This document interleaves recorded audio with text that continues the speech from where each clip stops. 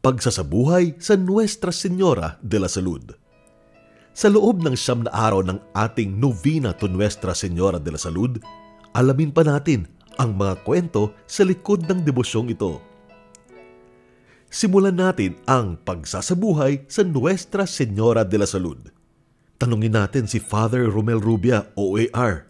Father, alam natin na nag-lie low for a while ang debosyon sa Nuestra Señora de la Salud. Pero Matanong ko po kayo, gaano kasikat ito dati? At masasabi ba nating muling lumalakas na ngayon ang debosyon sa kanya?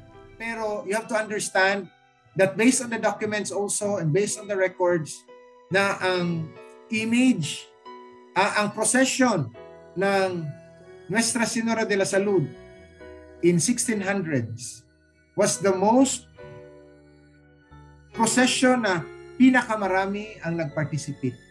Part, highly participated ang procession ng La Salud. Kung sa ngayon yan, parang yung procession ng Nazareno. Because in the records, it will show thousands of people joining the procession. You have to understand that in 1600s, kukunti lang ang tao sa Philippines, sa Manila. Pero umaabot siya ng thousands and thousands ang ang nagpa-participate ng kanyang procession. So talagang it was a procession na talagang pumpos, ang daming tao. It was also recorded na yung image na yan was the image na para bang it was the most popular Marian image in the Philippines. Ngayon, because of the revival of the devotion, uh, nagkaroon na a lot of interest.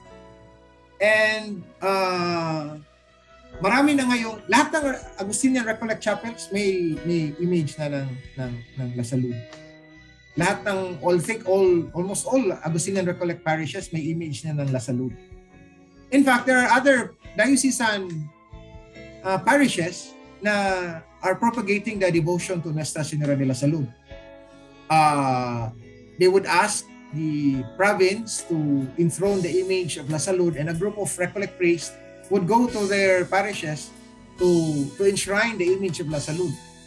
So may mga simbahan na ngayon na na are asking the uh, recollects na uh, magkaroon ng image ng La Salud. It's, it's better na the parish itself, ang parokya mismo, ang mag-request sa provincially so that we will be assured na hindi lang ito ilalagay doon sa sa altar or somewhere there na talagang the parish will take responsibility of propagating the devotion.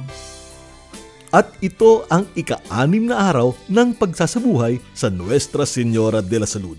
Bukas, babalikan natin ang debosyon sa kanya noon.